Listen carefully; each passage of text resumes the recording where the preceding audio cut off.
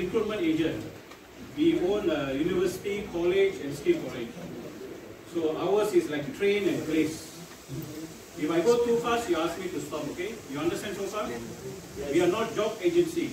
We are university. We train and place people for work in various countries. One of them is Korea, right? Korea, they have a very bad experience with foreigners because people go there, then after that they disappear. So that's why, that's why you know we are very careful selecting the candidates, and we have a lot of on. So even you can finish your PhD while working there. So far, understand? So they have uh, various industries uh, that they need. They need, uh, you know, I think some of you, you know about the visa in Korea. They go E9, E8, E7, E4, all these. So E9 is low labor, farming, you know, all these uh, low labors. E7 is semi-skilled. Okay, now we are targeting semi-skilled to place them in Korea. You understand?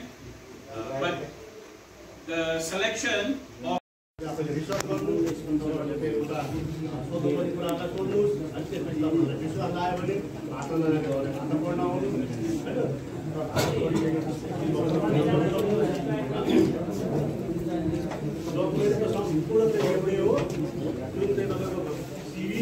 भनेको एकदम strong हुनुपर्छ त्यसमा चाहिँ तपाईँले एकदम बनाउनुपर्ने हुन्छ अर्को तपाईँको पासपोर्ट स्क्यान हो Okay, for diploma, those people 10 plus 2, you want to study diploma, is uh, $250 per month. Alright? If you, you already have a diploma, you want to go to uh, what you call um, a degree, is uh, $350. All. So one month for management and your study about 300 to 350 only. So assuming you take back 2,600, so you minus 300 for your expenses, 150 for your security deposit. So that means uh, you study online. So how the system work? Uh, for example, you're going for diploma, you select what course you want to do. Okay, we give you a module. So that module, so your work, isn't it? Your work experience, you have to write small assignments. That is called TVET, vocational, hands-on training, and you learn. Yeah, so our module is not only vocational, also internship. That means uh, work and study. Another one is RPL. For example, you're welder. Many years you welder already, now you're working there. But you only have a professional certificate. So we accumulate your experiences, we call it RPL, uh, Learning Prior Experience. We convert that to diploma or degree. So this, as I say, the compare with the education and other things, we are back backward. Ours is university, no uh, digital university, no big big campus. All this we don't have. So all these are online studies. Digital era, we are in digital era. If you go Korea, all is digital era. So that means your, your money also come on your phone. And you have a bank account, your money comes to your phone.